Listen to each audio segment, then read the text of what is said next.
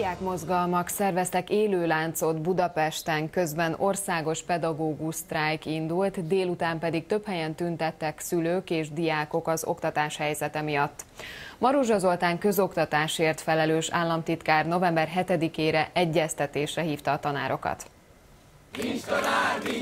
Molinókkal érkeztek a demonstrálók a Margit hídra. Az akciót megelőző sajtótájékoztatón Törlei Katalina Kölcsei Gimnázium kirugott tanára azt mondta, nincs okuk abba hagyni a tiltakozást.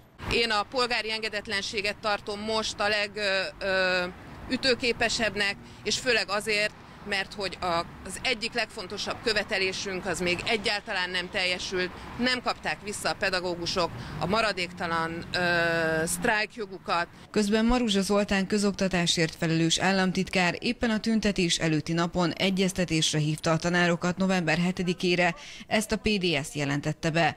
A Margit hídon és a Nagykörúton is több százan csatlakoztak az élőlánchoz. Szerintem lehetetlen az, hogy így, így menjen tovább az oktatás, egyszerűen nem, nem, és, és szerintem ez a jövő.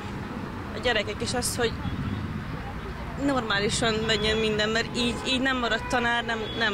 Tehát ilyen körülmények között lehetetlen, hogy építsünk a, építsük a jövőnket. A családomban nagyon sok pedagógus vagy volt pedagógus van, és azt gondolom, hogy mindig fontos egy országban, hogy azok, akik a pedagógusok, azok megbecsülve legyenek, hiszen ők adják a jövő tudását.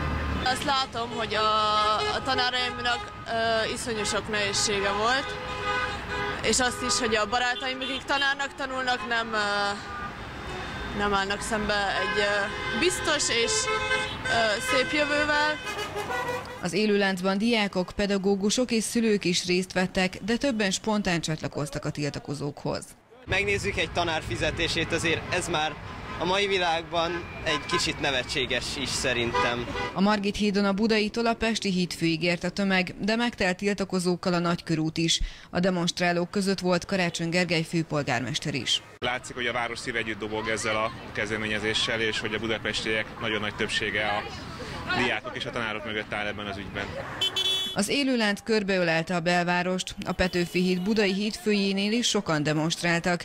Itt többek között az új budai Széchenyi gimnázium tanulói álltak ki tanáraikért és az oktatás javításáért. Ezek pedig a szerda esti budaörsi felvonulás képei. Szilágyi Kitti óvodapedagógus, az akció egyik szervezője híradónknak azt mondta, fontos hangsúlyozni, hogy az oktatási rendszer és annak problémái nem csak az iskolákat érinti meggyújtottuk közösen az oktatás lángját, és egy, egy szuper közös élmény volt mindenki számára, és ezzel fel tudtuk hívni a figyelmet a jelenlegi oktatási nevelési ö, problémákra, ami, ami övezi a mindennapjainkat. A következő sztrájknapot november 18-án tartják, előtte pedig november 2-án az oktatásról és a tanárok helyzetéről tartanak vitanapot a parlamentben.